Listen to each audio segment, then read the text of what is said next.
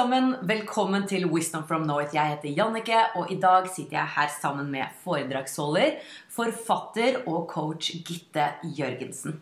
Gitte er kvinnen bak bestselgerbøkene Pippi Power, Simple Living og Når sjelen kaller.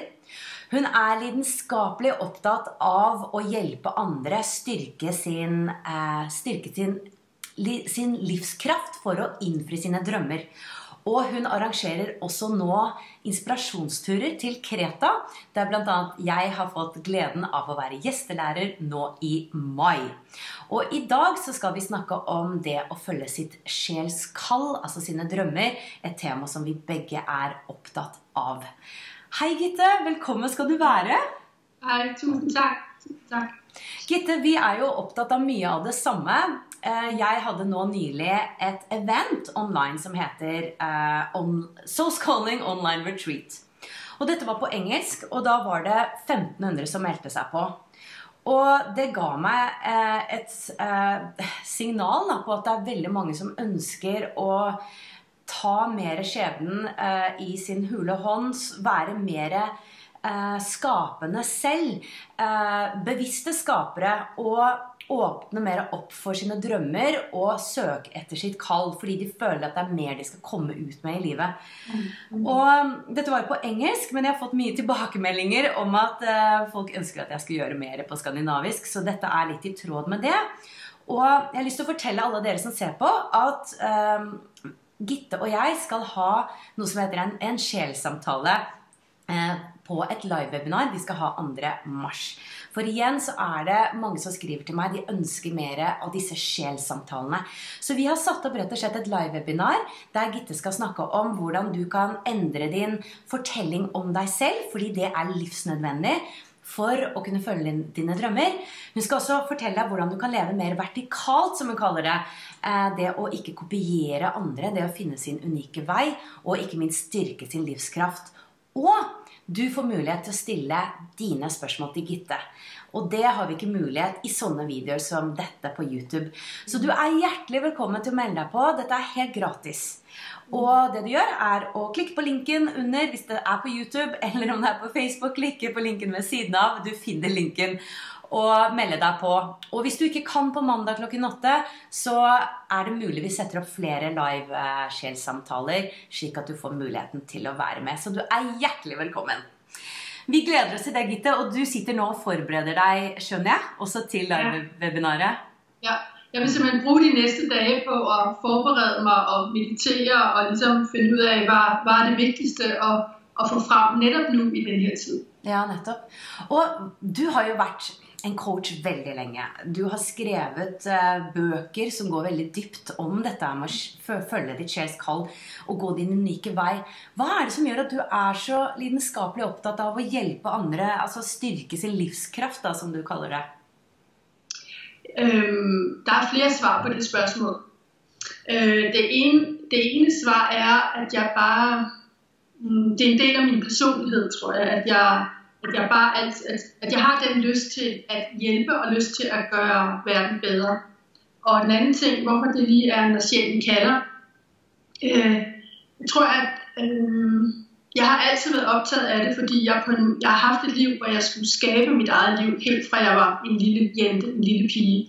Så helt fra min barndom har jeg på en måde optræne min intuition, fordi jeg skulle finde ud af, hvordan overlever man her.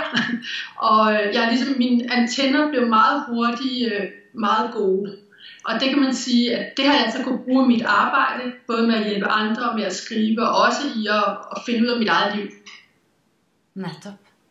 Og eh, du har jo nettopp en veldig god intuisjon, og det er, det er, det veldig mange som eh, sliter med. fordi det er ikke alltid lett å vite hva som er hva. Hva er egotanker, hva er frykt, hva er intuisjon osv. Og, så og kanskje vi også kommer inn på dette i webinaret. Eh, men du snakker om når sjelen kaller. Eh, I din siste bok, som eh, vi også har gjort et lengre intervju på. Eh, hva er en sjel for deg? Hva, hva tenker du når du sier 'når sjelen kaller'? Hva ligger det i det?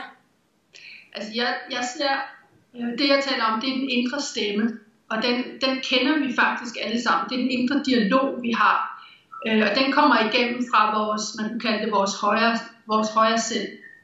det er lidt svært at sætte helt ord på det, og mange bruger forskellige begreber, men, det, men vi har, altså, det, det, det, der har, det, der har undret mig igennem de sidste år, øh, efter at bogen Når sjælen kalder kom ud, det var, at de fleste mennesker bliver faktisk red, altså på dansk hedder det bange, de bliver red ved tanken om, at de skal gøre det, som deres sjæl kalder. Altså det så, hvis jeg nu for eksempel har spurgt nogle mennesker, øh, hvad, hvad kalder din sjæl på, eller hvad tænker du, når jeg siger, hvad sjælen kalder, så de fleste de bliver sådan helt, åh nej. Øh, øh, hvis jeg virkelig skulle leve mit liv, og virkelig skulle øh, gøre det, som min sjæl kalder, det, det kan de slet ikke, de kan ikke overskue det. Og det er, jo, det er jo tankevækkende. Altså det er jo mennesker i Skandinavien, det er jo tankevækkende, at vi alle sammen egentlig godt ved, hvad vores indre stemme siger til os. Og jeg tror faktisk, det er sådan, vi ved det alle sammen godt. Men spørgsmålet er bare, har vi mod til at handle på det? Har vi mod til at gøre noget ved det? Det er det, det, er det der er the, the turning point, hvis man kan sige det sådan. Ikke? Ja.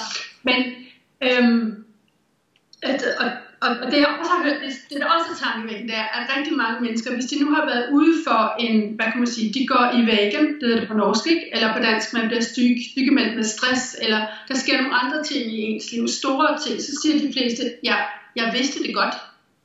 Ja. Og det tænker det har jeg også virkelig undret mig over, at vi, det viser bare, at vi ved det godt indeni. Vi ved godt øh, egentlig, hvad vores indre stemme siger.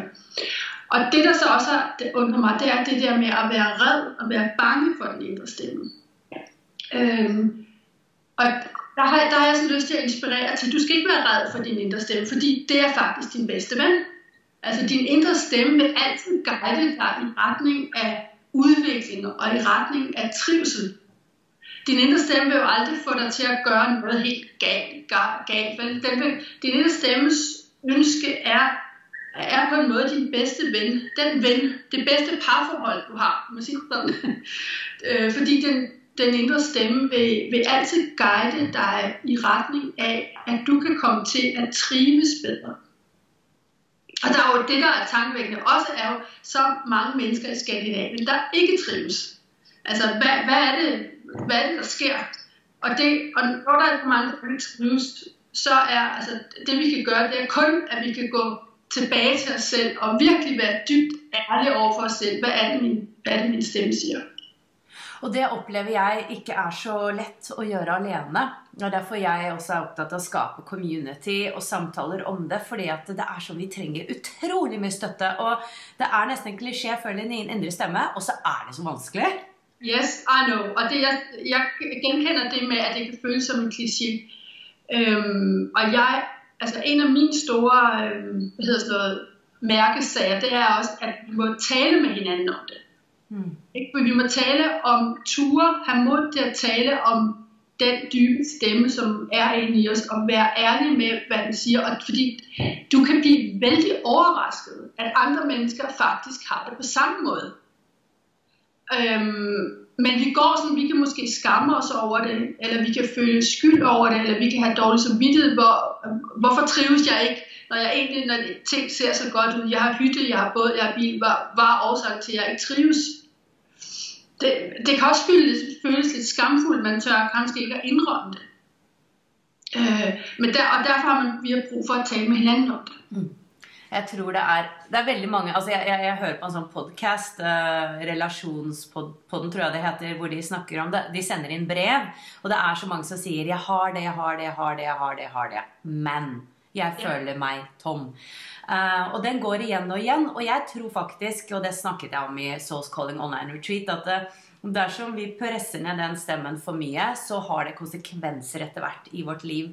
Fordi sjelen begynner å banke på døren, og etter hvert så banker den hardere og hardere. Eh, hvor et eller annet skjer fordi at det er en energi som må et sted. Um, og for meg så blir jeg deprimert. For andre så kan de få angst. De kan få eh, ja, Plutselig da så er det ting som skjer i livet hvor f.eks. Eh, du blir eh, oppsagt fra jobben, eller eh, kjærlighetsforholdet går i stykker, eller For jeg tror at livet ønsker at du skal leve autentisk. Jeg tror ikke vi er ment for på en måte å leve på en løgn, denne livsløgnen som Ibsen snakker om, som vi nordmenn kjenner til. Og jeg tror også det er noe av på en måte helteoppgaven. At vi Det er tøft, men det er det vi på en måte skal rise to the occasion, da. Ja, netop. Og det, og det jeg ser i, i det her år, i 2020, der som astrologer taler om, at 2020 er sådan et gennemgangsår, et overgangsår mellem det, man kalder for fiskens tidsalder, som var meget styret af ydre autoriteter og kirke og politikere og religioner, og hvordan siger man vandmandens tidsalder? Jeg ved ikke, om man siger på norsk. Vandmands tidsalder, ja. at den, den her, altså det handler om, at vi skal blive vores egen autoritet. Ja og at 2020 er sådan et bridge imellem de to verdener. Så, der, så det jeg oplever rundt mig lige nu, det er, at vældig mange har dybe eksistenssamtaler med sig selv. Og vældig mange mennesker er på en eller anden måde ramt på deres eksistens, eller de er ramt på deres sjæl. Sådan, føler jeg virkelig mening. Hvad betyder det? Ramt på? Ramt, altså de bliver, øhm, de kan mærke det på deres eksistens. De bliver touch, touch på deres eksistens. Øh, på, og på mange forskellige måder, fordi vi mennesker, vi er vældig forskellige. Det kan være, at man kan blive ramt på sin følelse af at høre til, eller det kan være, at man bliver ramt på sin følelse af at have værdi som menneske. Det kan være, at man bliver ramt på sin følelse af ensomhed, samhørighed, eller alle sådan nogle ting. Så vi bliver på en måde lidt, øhm, hvad kan man sige, presset til virkelig at finde i dybet af os selv og tage dybe beslutninger om, at leve vores liv autentisk. Det lyder som en kliché. Og leve sandt.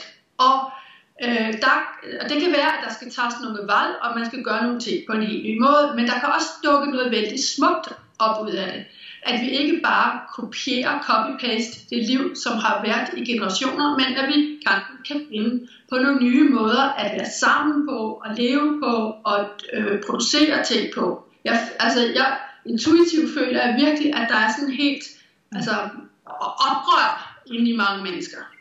Altså en, revolution, en stille, en indre revolution i mange mennesker, men det er sådan, man kan ikke rigtig se det, men det er ligesom om, det, ligesom om at, at jorden skal graves, skal, skal vendes igen og skal cirkuleres. Altså en metafor, at jorden skal vendes, skal cirkuleres, så der kan komme nye frø op. Og det er de nye frø, vi begynder nu at se spire til. Og jeg tror også, at vi må, som du siger, lave community og tale med hinanden, ligesom vi gør med webinar på mandag.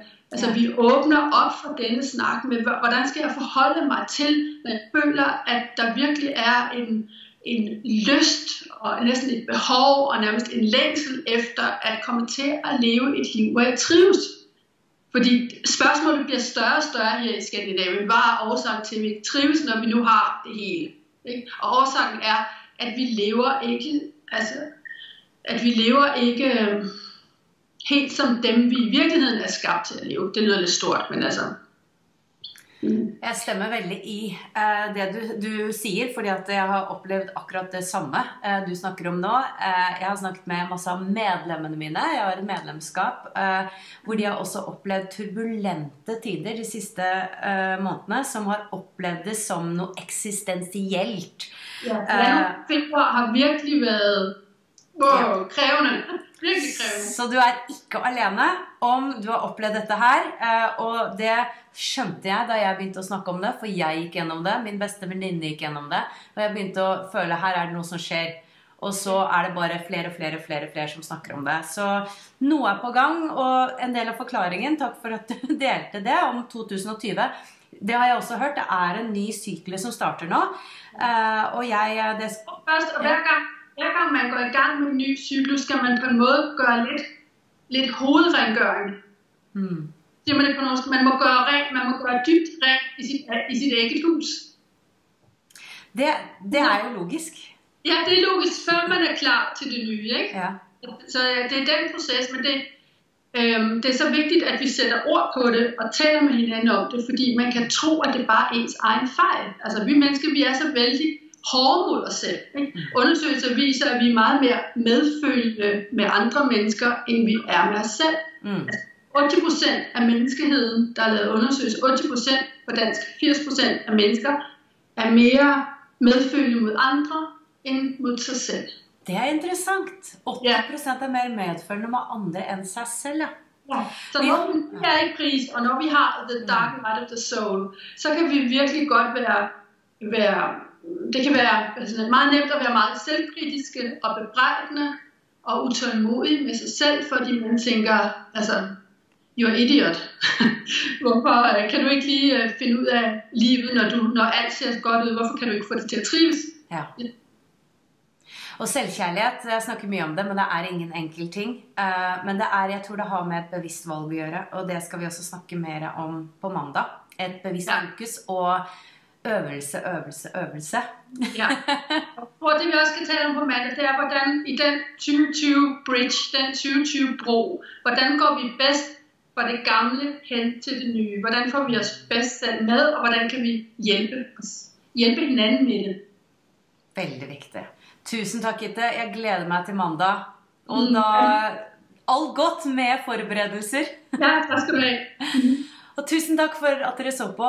Håper å se deg på mandag. Hvis du ikke kan på mandag, meld deg på allikevel, for vi setter opp flere slike sjelsamtaler. Ha det bra! Hei, tusen takk for at du så på denne videoen. Hvis du likte den, så kan du abonnere på kanalen min. Det gjør du under her. Og husk å klikke på den lille bjellen, for da får du varsler når jeg legger ut nye videoer. Jeg har også en gratis gave til deg.